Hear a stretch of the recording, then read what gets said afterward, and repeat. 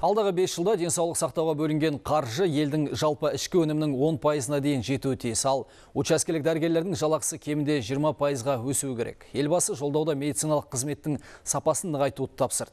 Бұл орайда халықтың дәрігерлерге деген сенімін арттыру керек. Қызылорда облысының денсаулық сақтау саласының мамандары мемлекет басшысы жүктеген міндеттерді іске асыруға дайын. Қазір өңірдегі тілшіміз Ағырке Берікбек қызы бізбен тікелей байланысқа шығады. Ағырке, сөз кезегі өзіңізде.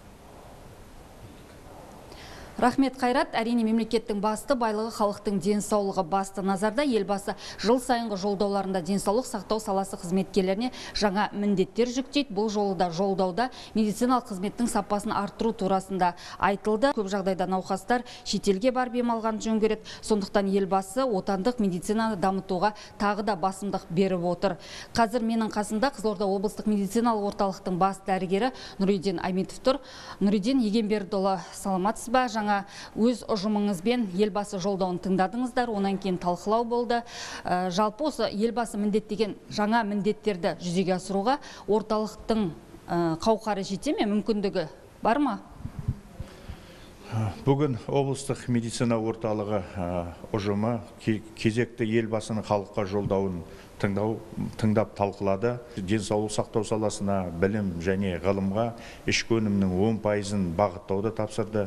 Және де осы тұрғындарға көрсетіліп жатқан медициналық көмектің, көмектің сапасын арттыруды және өлім жітімнің бұл бойынша біздің елімізде екінші орын алып тұрған онкологиялық қызметтің сапасын арттыруды тапсырды. Соңғы уақыттарда біздің орталықтың құрамында кардиохирургиялық орталық жұмыс атқарады, офтальмохирургиялық орталық жұмыс атқарады және инсульттік орталықтар жұмыс атқарып жатыр.